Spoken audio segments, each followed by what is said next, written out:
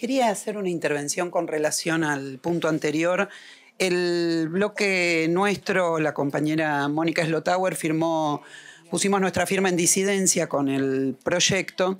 Yo sé que ya lo han tratado, me toca debutar en este momento y es una temática que yo trabajo hace muchos años. Me gustaría eh, hacer un par de aportes. En primer lugar, por lo siguiente.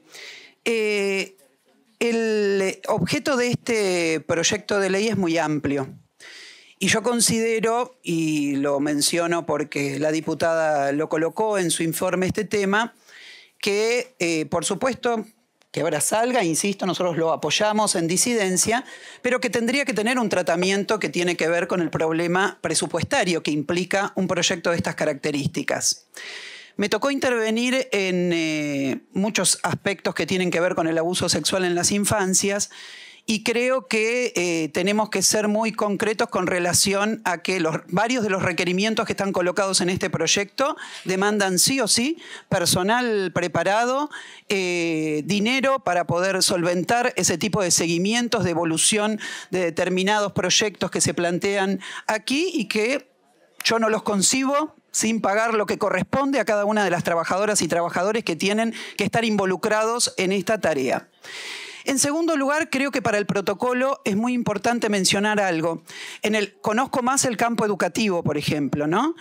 Eh, por supuesto, nosotros hoy tenemos una ley de educación eh, sexual integral que tiene muchos defectos en lo que tiene que ver justamente con presupuestar esta tarea. Nuestra docencia hoy no aquellos que se han interesado en esta temática, que funcionan dentro de las escuelas, eh, fomentando el conocimiento, tratando de llevar adelante una educación transversal al respecto de esta temática, bueno, es, recae sobre el esfuerzo y las espaldas de nuestras docentes y nuestros docentes porque eso no está tampoco presupuestado y en muchos casos hoy tenemos las enormes dificultades que significa que se hayan cerrado postítulos o se le hayan puesto muchos límites que impiden que nuestra docencia puedan formarse en esta tarea.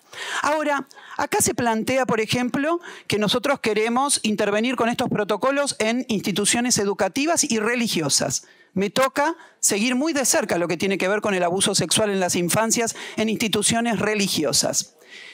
Y esto es un tema muy delicado. Les voy a contar una cosa. Yo formo parte de lo que es el seguimiento, de una causa en la provincia de Buenos Aires contra el cura Siders. Lo habrán conocido, fue mediáticamente muy conocido. Él estaba dentro, durante 25 años estuvo dentro de un colegio confesional de La Plata que tiene alrededor de 3.000 alumnos el protocolo este va a tener que decirnos cómo vamos a entrar en los colegios confesionales, que son un Estado dentro de un Estado en este país, porque la dirección de escuelas privadas de la provincia de Buenos Aires nunca entró para intervenir en lo que tiene que ver con el problema de los abusos en las infancias en ese colegio. Entonces tenemos muchas dificultades también que tienen que ver con interactuar con organismos que muchas veces no son las secretarías de niñez, ahora voy a decir algo sobre la secretaría de niñez, pero eh, y que tienen que ver con otros organismos del Estado que tienen que llevar adelante el control interno, por ejemplo, dentro de escuelas confesionales, como ya les he contado que tenemos muchos casos de situaciones que incluso se han judicializado. Entonces, me parece importante esto. Voy a, referir a otro tema. Nosotros tuvimos un caso en la ciudad de Buenos Aires también que me tocó seguir, cuyo eh, desenvolvimiento en el plano judicial llegó a la justicia federal e intervinieron fiscales federales también. Esto llegó, es un caso que llegó a Canicoba Corral. Tenía que ver con estudiantes de eh, escuelas de Lugano, captadas para ser introducidas en la venta de drogas y también en el negocio de la explotación sexual. Bueno, ahí tenemos un claro caso en donde desde los colegios se lleva adelante eh, el, desenvolvimiento de una actividad delictiva para introducir a menores de edad en este tipo de situaciones que terminan en abuso sexual también. Entonces, tampoco hemos podido intervenir adecuadamente dentro de los colegios para esto. Por el contrario, en ese caso, Canicoba Corral consideró que no había ninguna captación de menores y el fiscal eh, federal en ese momento, eh, Federico Delgado, por supuesto que sí, que vio todo lo que tenía que ver con la captación de menores. ¿Por qué introduzco esto? Porque creo que entonces necesitamos plata, necesitamos intervenir también y, si no me equivoco, discúlpenme si soy desprolija con esto, en el Poder Judicial. El Poder Judicial, bueno, tenemos un enorme problema Nosotros tenemos una dimensión del abuso sexual en las infancias que tiene que ver con aquellos que ocurren dentro de eh, los hogares en donde están relacionados directamente familiares directos de las criaturas que están siendo abusadas y tenemos una enorme problemática que en general militan y llevan adelante las llamadas madres protectoras. Ellas que son dentro del Poder Judicial perseguidas, señaladas, eh, insultadas a través de lo que es el principio del síndrome de alienación parental dentro del ámbito del Poder Judicial, un tema en el cual nos tenemos que meter fuertemente porque sigue existiendo plenamente dentro del Poder Judicial. Y sobre este tema no tenemos...